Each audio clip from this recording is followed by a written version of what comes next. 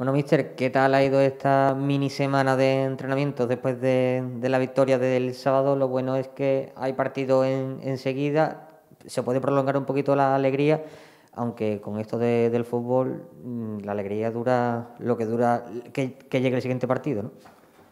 Sí, bueno, para nosotros eh, la victoria de otro día era muy importante, sobre todo porque no solamente por los tres puntos, porque el equipo después de, dos derrotas eh, estaba eh, bastante mal, pero como habéis visto nosotros el de otro día era un partido muy complicado, muy difícil y lo, con ganas que hemos tenido de, de, ganar el partido y con la lucha quiero dar enhorabuena a todo porque era un partido decisivo pero y muy complicado. Y bueno, lo de, como, como has dicho, ah, no, no, tengo mucho tiempo para, para festejar, para estar tranquilo, porque ya no llega el otro partido. Ah, para mí, partido contra Recre es un partido decisivo. Yo creo que media liga, porque jugamos con un rival directo y por otro lado con, con otros tres puntos. Uh, estaríamos mucho mejor en la clasificación. Entonces, digo, mañana nos jugamos media liga.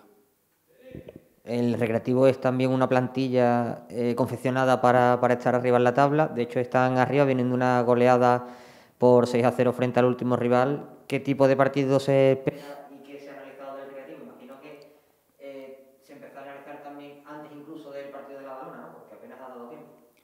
Sí, nosotros ya hemos, hace dos o tres semanas hemos hablado muchísimo de recreativo y los jugadores están preparados. Pero bueno, yo otra vez digo, como la semana pasada nosotros uh, antes del partido nos preparamos más como nosotros vamos a jugar que mirando más el rival. Sobre todo el partido antes del Inese y ahora, ahora este nos miramos, miramos cómo nosotros vamos a jugar. Recreativo, claro, es un un club, un, equipo histórico, eh, siempre uh, respira lo más grande, tiene seguro objetivo subir en, segunda división A y bueno, seguro que mañana, mañana van a venir aquí a, ganarnos, pero digo, a mí no me interesa nadie, yo solamente miro mi equipo y yo creo que estamos preparados para, para ser un gran partido y intentar ganar a Recre esto de tener partido intersemanal, ¿cómo afecta a la carga física de los jugadores? Porque es una plantilla que en principio no está pensada para disputar tres partidos en semana, ¿no? No, tenemos una muy buena plantilla con jugadores preparados y yo creo que no, no va a afectar mucho. Bueno, si, nosotros, si afecta a nosotros, pues también a Recre, que, que jugó el otro día también. Yo creo que estamos preparados para cualquier cosa. No, no, esto no es excusa. Lo decía porque el entrenador del Recreativo, Claudio Barraca, criticó ayer en la rueda de prensa la fecha del partido de mañana, el hecho de que se dispute entre semanas. Bueno, esto estamos viviendo en un, en un, uh, en un momento difícil con COVID, pero ¿qué yo puedo decir? que nosotros estábamos 10 días confinados y después de, de estos 10 días Ah, bajamos el nivel físico, perdimos dos partidos, quien se tiene que quejar soy yo. Pero en ningún momento he dicho que algo contra la fecha que vamos a jugar. El perjudicado de todo esto, del COVID y de todo eso somos nosotros. Porque después del partido contra San Luqueño ah, y, y, la, y, la, pausa que hemos tenido durante el día, perjudicados éramos nosotros.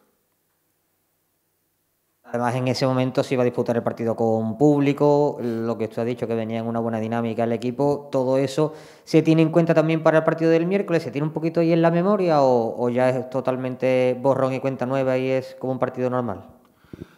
Otra vez te digo que nosotros tenemos un partido,